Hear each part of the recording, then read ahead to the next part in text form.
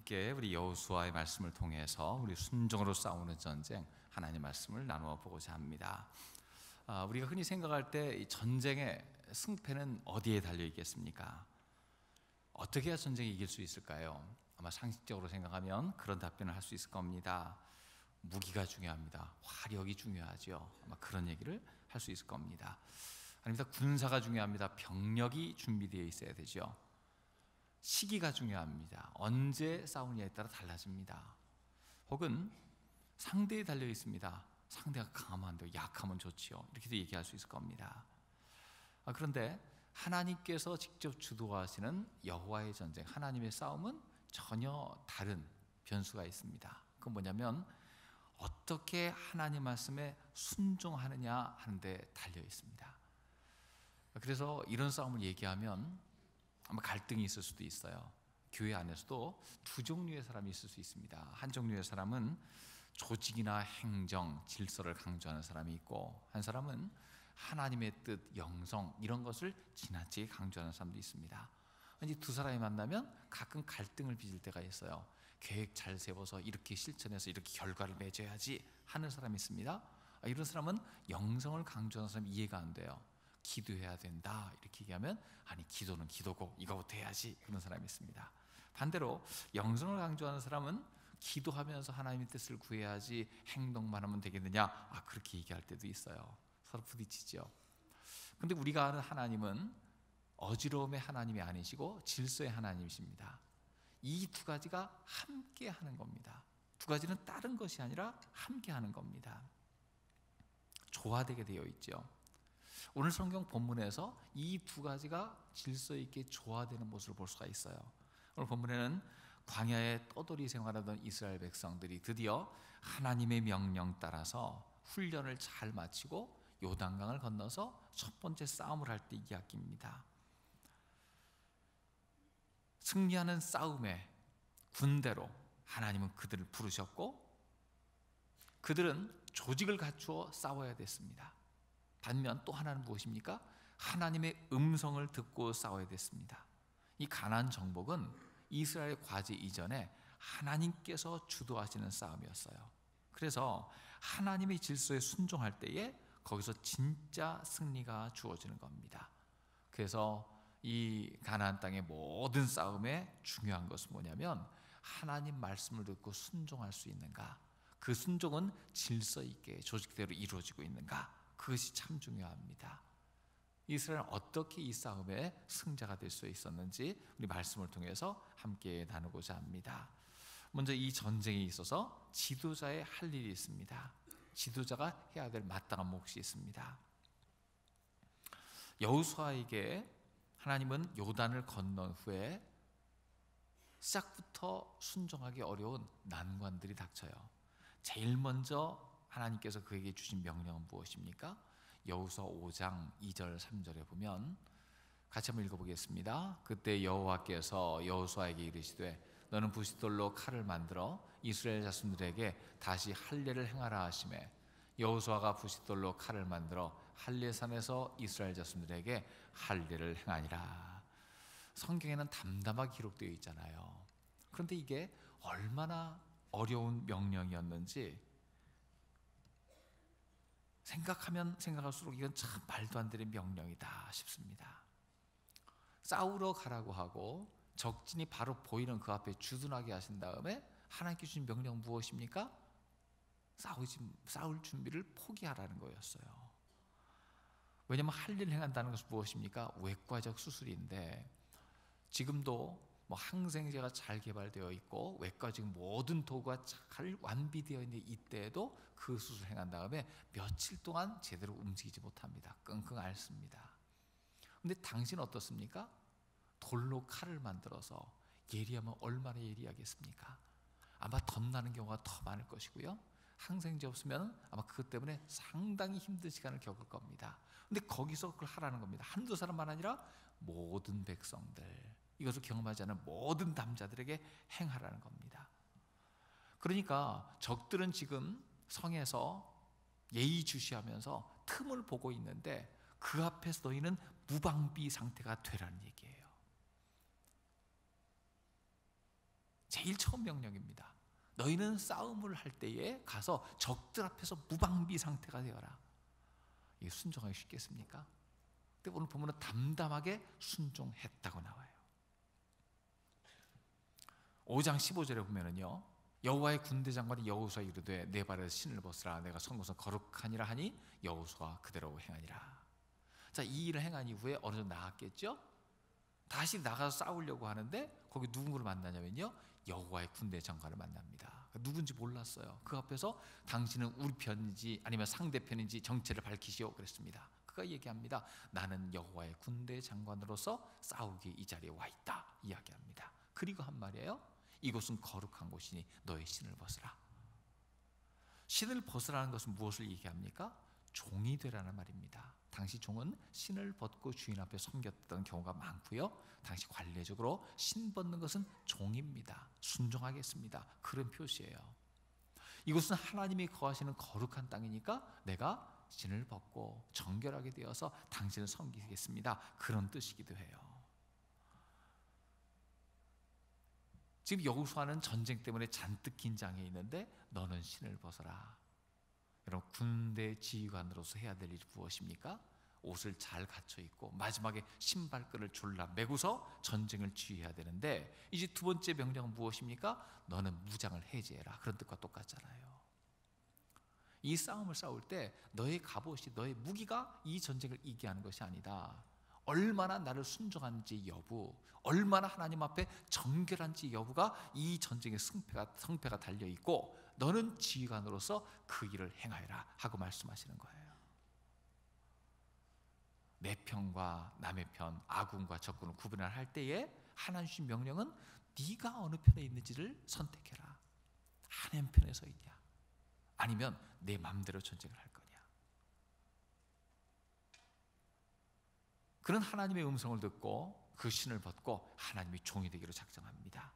그때 하나님께서 그에게 여러 가지 말씀을 해주시는데 지도자의 임무는 무엇입니까? 들은 말씀을 그대로 백성들에게 전달하는 거예요. 6장 6절 7절 보면은요. 같이 한번 읽어보겠습니다. 눈의 아들 여호수아가 제사장들을 불러 그들에게 이르되 너희는 언약궤를 메고 제사장 일곱은 양각 나팔 일곱을 잡고 여호와의 궤를 앞에서 나가라 하고 또 백성의 이르되 나가서 그 성을 돌되 무장한 자들이 여호와의 궤 앞에서 나갈지니라 하니라. 자 무슨 명령을 합니까? 제사장들을 불러서 이야기를 하고 그 다음은 백성들을 불러서 그들에게 명령을 합니다. 지도자의 역할은 하나님께 들은 음성을 가감 없이 그대로 사람들에게 들려주는 것입니다. 하나님의 뜻을 더 잘 드러내기 위해서 힘쓰는 거죠. 지도자는 비전이 있는 사람이고 그 비전을 공유하는 사람입니다. 그리고 그것이 이루어질 때까지 반복하며 힘쓰며 애쓰는 사람인 줄로 믿습니다. 하나님께서 여호수아에게 말씀하셨고 그런 종이 되기로 작정했으니까 들은 말씀 그대로를 백성들에게 전달해 주면 돼요. 이 싸움은 어떤 싸움이었습니까? 하나님의 싸움이에요. 그런데 그 전달한 것이 무엇입니까? 제사장은 언약궤를 매라. 또 다른 제사장들은 나팔을 들어라. 모든 다른 백성들은 그 뒤를 따라 걸어라. 이 말을 보면 싸움을 앞두고서 한 얘기가 뭐냐면 전투 금지, 싸우지 말라는 거예요. 싸우지 말라는 거예요. 하나님이 때 되면 싸우게 하실 테니까 너희는 그냥 나팔 불고 언약 꿰매고 걸어 다니면서 싸울 생각을 하지 말라는 거예요. 참 어렵죠. 지도자가 하는 일마다 어떻습니까? 하나님 음성을 모세가 대신 듣고 전해줬으니까요. 가자마자 무방비 상태를 만들더니 얼마 후에는 지도자가 무장 해제되더니 이제는 싸우지 말라고 합니다. 이게 싸움의 현장 맞습니까? 그러나 분명한 것이 있습니다. 여호수아는 하나님의 음성을 들었고 지금 치열하게 싸우고 있어요. 그건 무엇입니까? 바로 순종의 싸움이에요. 내 마음대로 싸울 건가? 하나님이 싸우시라는 대로 싸울 건가? 내 마음대로 진군 명령을 내릴 건가? 하나님 때를 기다릴 건가? 내 생각이 옳은 대로 할 것인가? 아니면 하나님의 분명한 음성을 따라갈 것인가? 지금 치열하게 순종의 싸움을 싸우고 있습니다. 우리들 삶의 현장에서 하나님께서 나에게 지도력을 주신 때가 있어요. 직장에서도 리더십을 발휘해야 될 때가 있고요. 가정에서도 명령해야 될 때가 있고요. 그럴 때만 생각합니다. 나의 명령의 기준은 무엇입니까? 애들이 말 안 들어서 혈기로 싸우고 있습니까? 부하들이 말을 못 알아들어서 화내며 싸우고 있습니까? 진짜 중요한 것은 하나님 말씀에 순종의 싸움을 싸우는 것입니다. 그때그때 주시는 하나님의 음성, 하나님 말씀, 내 귀에 들려진 내 마음에 잘 박혀진 하나님 말씀 따라서 하나님의 음성 듣고 순종하기로 작정하는 우리 모두가 되길 주의 이름으로 축원합니다. 자, 지도자는 자기 할 일을 다 했어요. 그러면 이제 싸우는 무장한 자들이 할 일은 어떻습니까? 이 전투의 핵심은 제사장이었어요. 이 전투에 가장 앞장서야 될 사람 바로 하나님 음성을 듣고 순종해야 될 제사장들이었습니다. 그들에게 어떤 일이 맡겨집니까? 6장 8절에 같이 읽습니다. 여호수아가 백성에게 이르기를 마침에 제사장 일곱은 양각 나팔 일곱을 잡고 여호와 앞에서 나아가며 나팔을 불고 여호와의 언약궤는 그 뒤를 따르며 자 여기서 보면 제사장에 주어진 명령이 있어요. 너희는 언약궤를 메라. 나팔 든 제사장은 그 쇼파르라고 하는 나팔이 있어요. 양의 뿔로 만든 양각 나팔입니다. 그것을 불면서 나아가라. 아, 그 나팔 제가 한번 불어봤는데 무지하게 힘들어요. 입술을 얇게 해갖고 어떻게 해야 되나? 어우 되게 힘들어요. 뭐 픽픽 소리만 나는데 어디 훈련된 제사장들이죠. 이 나팔을 불면서 나아가게 되어 있습니다. 언약궤는 그 뒤를 따르게 되어 있었죠. 이 언약궤는 하나님 임재를 상징합니다. 이 나팔은 무엇입니까? 하나님의 참전을 요구하는 나팔이에요. 위기가 닥치거나 나팔을 울려 불면 하나님께서 그 소리를 들으시고 그들 가운데 함께 하시라고 약속하셨어요. 그러니까 그들이 할 일은 무엇입니까? 이 전쟁의 자리에서 하나님께 호소하는 거예요. 하나님, 우리 가운데 함께 해 주세요. 이 싸움에 하나님이 참전하셔서 앞장서 주세요. 그들은 요단강을 건널 때도 언약궤가 제일 먼저 가서 요단 강 물에 몸을 잠글 때에 강이 갈라졌습니다. 모든 백성들이 안전하게 건널 때까지 그들은 그 자리에 서 있었고 마지막에 돌아왔습니다. 하나님이 함께 하시면 어떤 기적이 벌어진지를 봤어요. 그들은 이 전쟁의 중심부에 하나님을 모시도록 명령에 순종했어야 됐습니다. 하나님이 임재가 있고 하나님 부르는 호소가 있고 그 소리를 들을 때마다 그들이 발걸음을 보폭을 맞춰야 됐습니다. 백성들이 일치되게 행진했습니다. 여호수아의 시대에 순종했습니다. 우리도 하나님께서 우리에게 맡겨진 싸움을 싸울 때 정말로 중요한 것이 바로 이것이죠. 늘 하나님의 임재 앞에 서기를 힘쓰는 복된 예배자 되시길 주의 이름으로 축원합니다. 예배 때마다 하나님 앞에 나팔 불며 하나님 나의 싸움에 동참해 주세요. 이건 내 싸움이 아니라 하나님의 싸움을 대신 싸우고 있는데 주님 주관해 주세요. 늘 기도에 힘쓰시기를 주의 이름으로 축원합니다. 그러면 무장한 군인들의 위치는 어디입니까? 6장 9절에 나오죠. 그 무장한 자들은 나팔 부는 제사장들 앞에서 행진하며 앞에서 행진했다고 그랬어요. 어느 조직이든지 앞장서서 뛰는 사람 행동대원이 필요합니다. 이 행렬의 선두에는 전투를 준비한 무장 세력들이 앞에 서 있었어요. 무기가 있고 몸도 튼튼하고 싸울 준비가 되었는 사람들이 앞장섰습니다. 적과의 전직임을 인식하며 무장한 군인이 분명히 있었어요. 우리의 그 교회에도 우리의 삶에도 이런 좀 앞장선 사람이 항상 필요하죠. 진취적인 사람들이 있죠. 남들 안 하는 일을 하는 사람, 험한 일, 굳은 일 먼저 앞장서 치워주는 사람, 작은 아이디어라도 하나님 기뻐하신 일을 먼저 실천하는 사람 그런 사람들이 있습니다. 얼마나 복되고 중요한지 몰라요. 선복에 서서 주님의 일을 감당하는 사람들이 있습니다. 여러분 누구도 하지 않으려고 하지만 앞장서 이런 일을 하는 사람이 있다면 주위에서 격려해 주시고 축복해 주기를 주의 이름으로 부탁드립니다. 얼마나 중요한지 몰라요. 근데 주의할 점이 있습니다. 이들이 앞장을 섰다고 선봉에 섰다고 해서 이 모든 흐름을 주도하거나 이끄는 사람은 아니라는 거예요. 주도권은 어디 있습니까? 제사장들에게 있어요. 제사장 이전에 하나님 말씀이 있는 거예요. 그들은 공동체가 나갈 길을 개척하는 앞장선 일을 감당하고 있지만 그들은 너무 앞서면 안 됩니다. 너무 뒤처져도 안 됩니다. 제사장들이 언약궤를 메고 있고 그 앞에 뿔나팔 부는 자들의 소리를 들으면서 자기의 보폭을 진도를 맞춰야 됐습니다. 그래야 질서 있는 행군이 되고요. 은혜로운 전쟁의 장소가 되는 거예요. 제 군 시절에 군대에서 제일 어려운 훈련 중에 하나가 행군인데 아, 그게 되게 어렵습니다.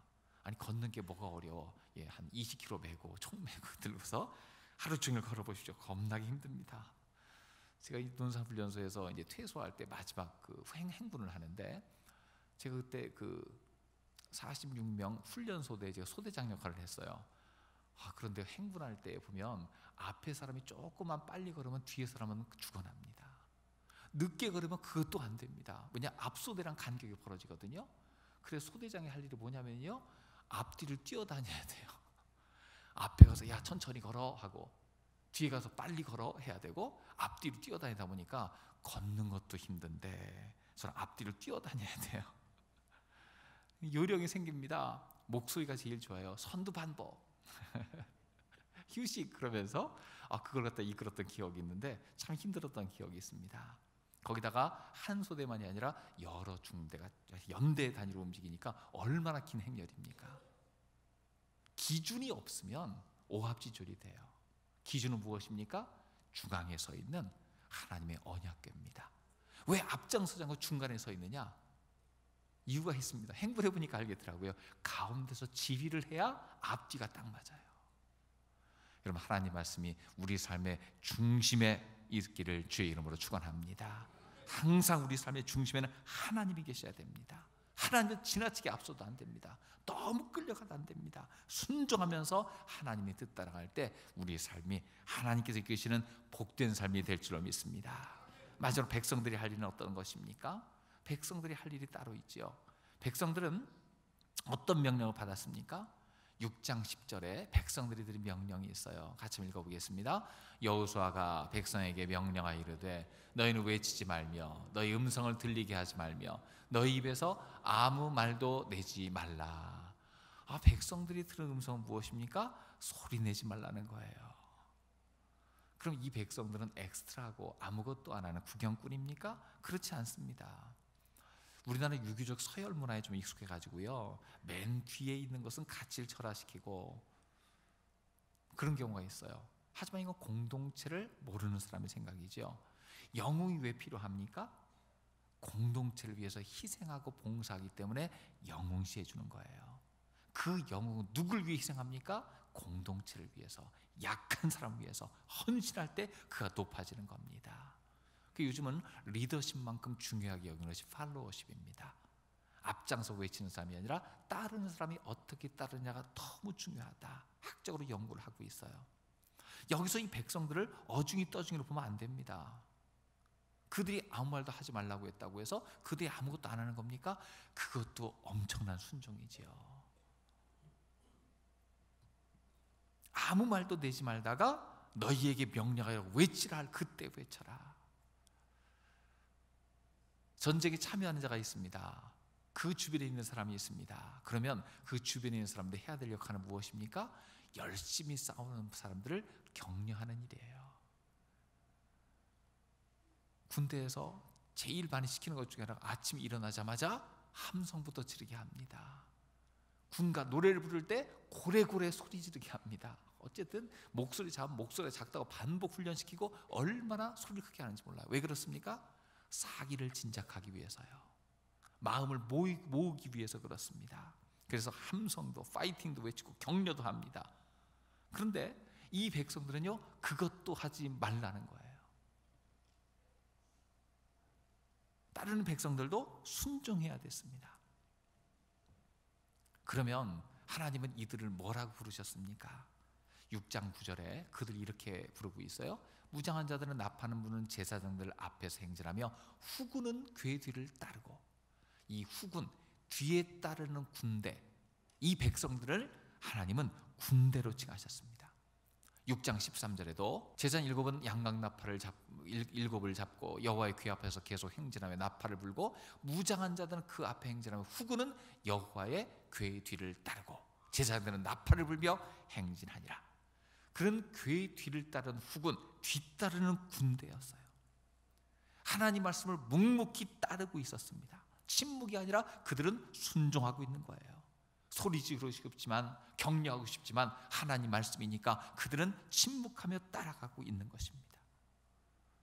현대전에도 그렇죠. 공군이 폭격하고 해군이 지원 사격을 해주면 뒤따라 육군이 따라가며 점령하고 그 뒤에는 백성들이 그 땅을 차지하는 겁니다. 그들의 임무는 조용히 뒤따라 걷는 거예요. 하나님의 때까지 기다리는 것이 그들의 임무였습니다.